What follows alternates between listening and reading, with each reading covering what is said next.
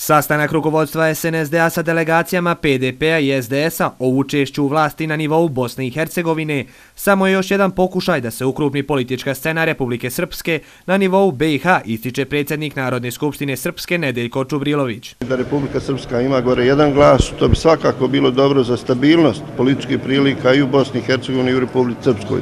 Da li će do toga doći, vidjeli ste i znate i sami rezultate pregovora. Čubrilović se osvrnuo i na stotinu dana rada vlade Republike Srpske, te istakao da je to mali period za ocjenu. Sigurno da vlada u ovih stotinu dana nije napravila neke greške koje bi mogli da negativno da se ocjenjuju. A mislim da je suviše malo vremena da bi mogli da damo neke ocjene koje bile validne. Ustavni sud BiH bi na sjednici zakazanoj za sutra prema dnevnom redu trebao raspravljati o zahtjevu devet delegata Vijeća naroda Republike Srpske za ocjenu ustavnosti zakona o danu Republike Srpske, a Čubrilović kaže Nijedna sudska odluka ne može da promijeni istorijsku činjenicu, a 9. januar je istorijska činjenica.